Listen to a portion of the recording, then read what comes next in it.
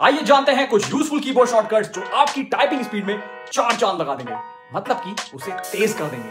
तो let's go अगर आप भी किसी वर्ड को डिलीट करने के लिए बैक स्पेस दबा दबा के थक गए हैं तो कंट्रोल और बैक स्पेस दबाइए, पूरा का पूरा वर्ड डिलीट हो जाएगा। अब अगर कंट्रोल और लेफ़्ट एरो या राइट एरो दबाते हो तो किसी भी वर्ड के फ़र्स्ट लेटर पर या किसी भी वर्ड के लास्ट लेटर पर जा सकते हो। और अगर शिफ्ट प्लस लेफ़्ट एरो या राइट एरो एक साथ दबाते हो तो किसी भी वर्ड को लेटर बाय लेटर सिलेक्ट कर सकते हो। और अगर इसी चीज़ को तेज़ी से करना चाहते हो तो शिफ्ट कंट्रोल और लेफ़्ट एरो या राइट एरो दबाओगे तो पूरा का पूरा वर्ड सिलेक्ट होता चला जाएगा।